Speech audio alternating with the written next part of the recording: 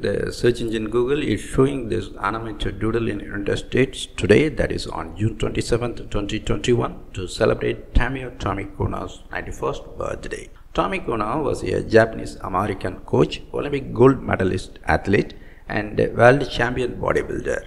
He is regarded as one of the greatest weightlifters in United States history. Tamio Tommy Kono was born in Sacramento, California on this day in 1930. During the onset of Second World War, Kono and his family, all of Japanese descent, were among the over 120,000 Japanese Americans forced by the US government to be detained in prison camps, aka Japanese internment camps. It was in one of these camps that Kono was introduced to weightlifting, which he practiced relentlessly in an effort to become healthier after experiencing severe asthma throughout his childhood.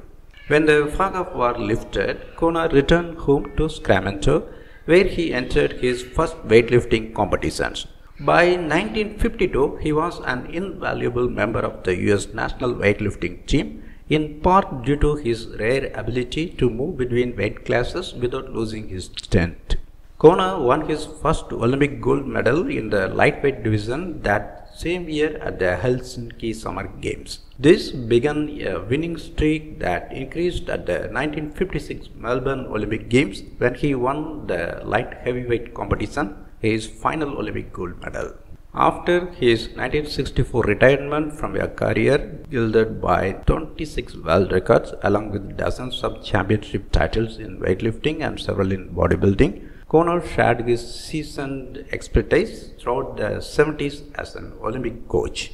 In 1993, Kono was inducted into the Weightlifting Hall of Fame and to this day Kono remains the only weightlifter in history to hold world records in four different weight classes. Happy birthday, Tommy Kono, and thank you for using your strength to lift not just weights but those around you.